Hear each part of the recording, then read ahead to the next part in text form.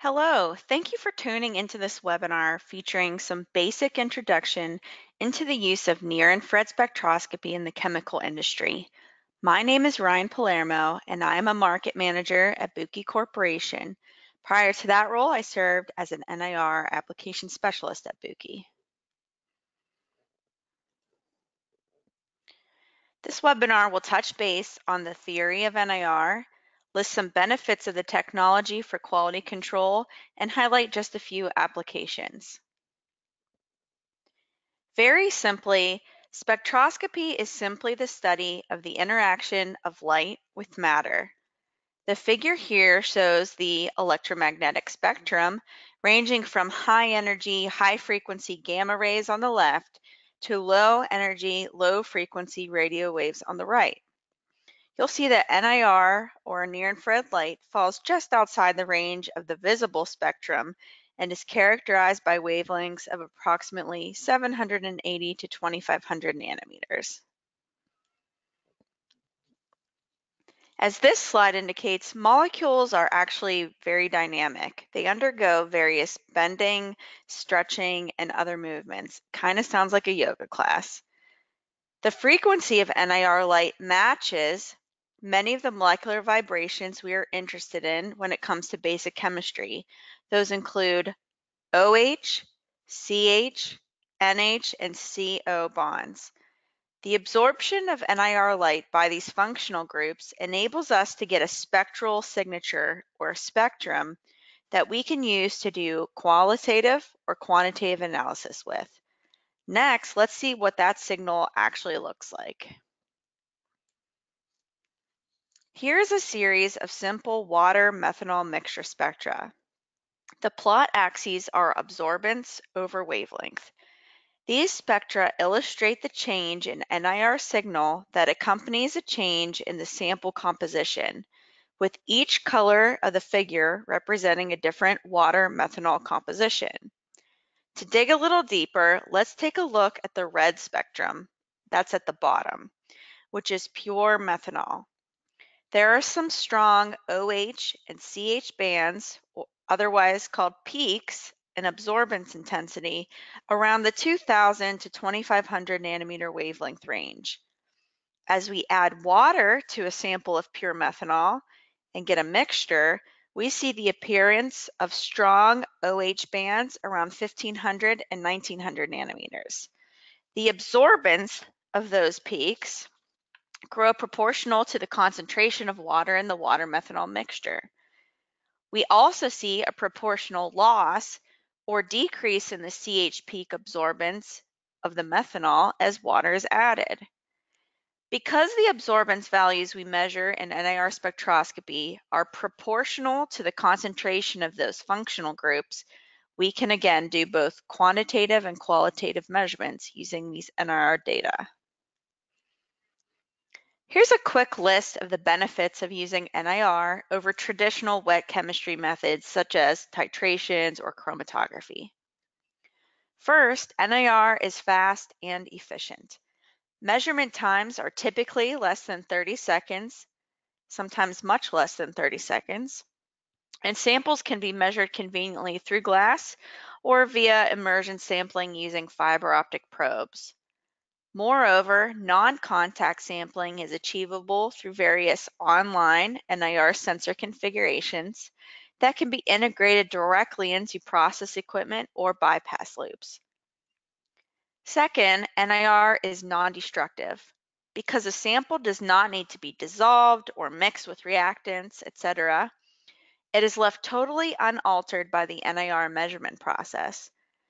This means that the sample can be returned to production, set aside as a retain, or used for additional analyses. NIR is also cost effective and safe.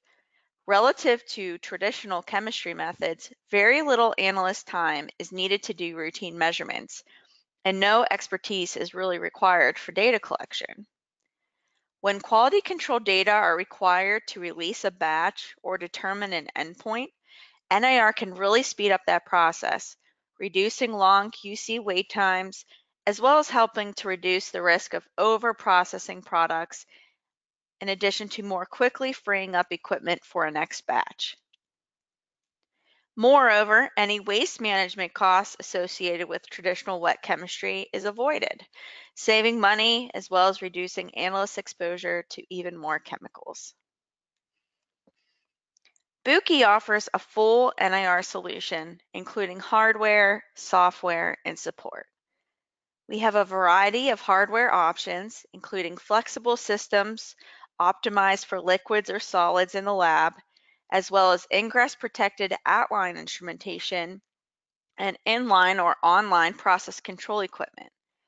Our software includes simple graphical user interfaces and powerful tools for method development.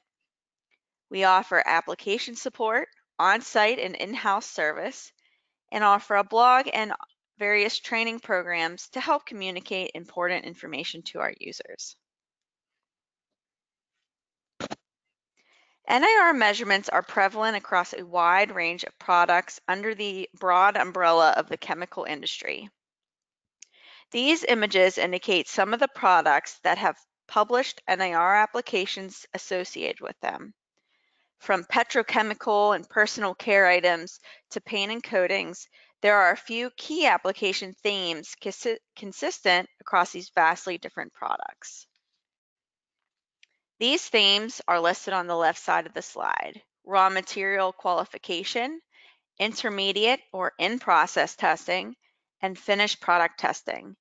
Most, but not all, of the NIR applications include tests such as material identification, percent moisture or percent solvent determination, the, excuse me, the extent of polymerization, hydroxyl or acid number. Those are just, again, uh, consistent themes across a lot, but these are not all inclusive.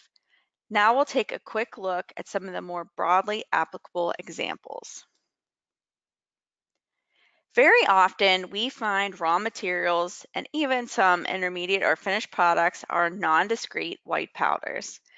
Many millions of dollars have been lost to product recalls due to mislabeled containers of these raw materials being added to a process stream or even to a store shelf without knowledge of the error.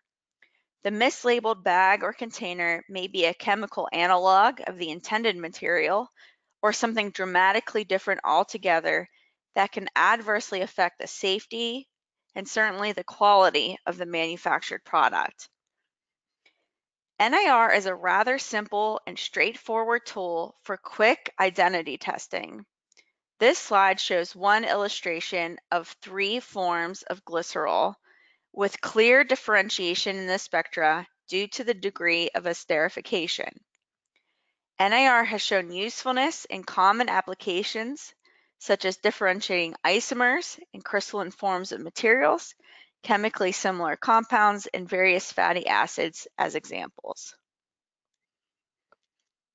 The backdrop to how the identity test is being conducted is called cluster analysis. Simply, groups of sample spectra of known identity are used to train the NIR method development process. The spectra of those known samples are then translated from a multivariate point uh, in a graph of absorbance versus wavelength to a single point in this new multidimensional space. The cyan cluster observed in this plot is a representation of many spectra of a single material plotted in this new three-dimensional space. The red, green, blue, and magenta clusters represent different, unique raw material spectra included in the same three-dimensional plot. So in this example, we would have five unique raw materials in one plot. In routine analysis, you would receive a sample from a warehouse receiving, or maybe even from production, which you could then scan on the NIR and validate the identity of. If the new spectra falls into the cluster indicated by the label claim of the sample, then the label is correct and the quality of the material matches those samples that were used in the development of the NIR model. This example is illustrated by the small cyan circle falling into this, the large cyan cluster. If the sample spectra falls just outside of the cluster, as shown with the red dot relative to the red cluster, it may be likely that something is different about that sample, whether it's something to do with particle size or composition that would need examined further. If the sample spectra falls into the wrong cluster, as shown with the green dot falling into the magenta cluster, the sample has been mislabeled and the NIR software will, in this case, indicate the true identity of the sample. This type of analysis is a great quick check for incoming materials or even as an internal check for outgoing products. Any failure to pass an NIR identity test would warrant additional testing to validate the result. If the sample identity was deemed acceptable by traditional reference methods, then an NIR calibration model update would follow to allow for that sort of variation in future samples. One common quantitative application that I mentioned earlier is the determination of hydroxyl number, or the number of OH N groups per gram of a material. This measurement is important for determining stoichiometry or endpoints of many chemical applications. In fact, NIR is considered a standard practice by ASTM International for determining hydroxyl number of polyols for polyurethanes. The sketch shown is an attempt to simply illustrate a polymerization reaction where we see the number of free hydroxyl groups in the sample decrease along with the extent of polymerization. So just like we saw in the water methanol example, we would see a change in the OH peak absorbance intensities with changes in polymerization. Here's a second worked example for the concentration of nitrogen in nitrocellulose in the explosive industry. Through a series of steps, hydroxyl groups in cellulose are replaced by nitrates to produce nitrocellulose. Of course, these products need to be tightly controlled. The figure on the left shows spectra of five grades of nitrocellulose with varying degrees of nitrate substitution ranging from 11.5 to 13.6%. The boxed regions of the figure show the corresponding reduction in OH absorption or the reduction in the peak height related to OH absorption produced by the nitrate substitution. The spectra on the left were then used to create a mathematical model to predict or measure future samples. The reference versus predicted plot for that model is shown in the figure on the right. The traditional methods for nitrogen content determination are both complex and time-consuming, requiring multiple hours to complete, whereas the NIR method was accomplished in less than a few minutes. The figure here shows a quality control chart with nitrogen content plotted over a sequence of samples. A comparison between the reference combustion and titration methods with NIR is also visualized. The NIR method, which is shown in the dark blue uh, plot, proved to be more precise than the combustion method, shown in red, and nearly equivalent to the titration method shown in yellow, despite the simpler and faster method execution of NIR. The NIR method was also found to be more robust. By doing things like intentionally varying moisture in the calibration samples, the NIR mo uh, model was less sensitive to moisture content than either reference method.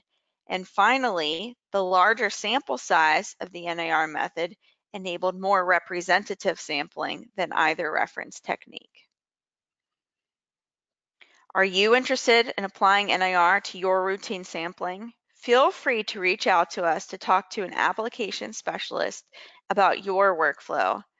We can then schedule a virtual demo to familiarize you with our solutions, or if your application is quite unique, we can schedule a feasibility study.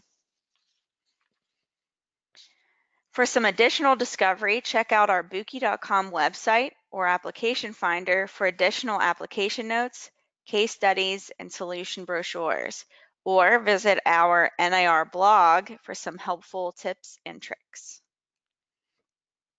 Please also note that Buki has a broad portfolio of laboratory products that go into the chemical industry, ranging from our well-known evaporation solutions to flash chromatography and particle engineering technologies such as spray drying, freeze drying, and encapsulation. We also offer online NIR as an integrated process control solution. Thank you so much for your time. You can contact us at us-sales at buchi.com to reach sales or application support.